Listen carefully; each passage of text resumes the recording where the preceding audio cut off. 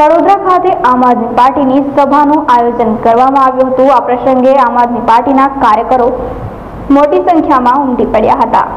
આમ આદમી પાર્ટી દ્વારા સુરત શહેરના કડોદરા ખાતે એક સભાનું આયોજન કરવામાં આવ્યું હોય, જેમાં કેજરીવાલ અને ભગવંત માન પણ સભા સ્થળે પહોંચ્યા હતા. જોકે કડોદરા ખાતે આવેલા અકાળમુખી હનુમાન મંદિરના ગ્રાઉન્ડ ખાતે સભાનું આયોજન કરવામાં આવ્યું હોય. આ સભામાં દિલ્હીના મુખ્યમંત્રી કેજરીવાલ, પંજાબના મુખ્યમંત્રી ભાગવત માન સભામાં હાજર હતા. અકાળમુખી હનુમાનજીના દર્શન કરી તેઓ સભા સ્થળે પહોંચ્યા હતા.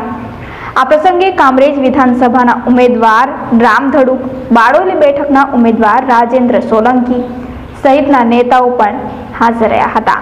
આમ આદમી પાર્ટીના કાર્યકરોમાં પણ આ સભાને લઈને મોટી જનમેદની ઉમટી પડી હતી.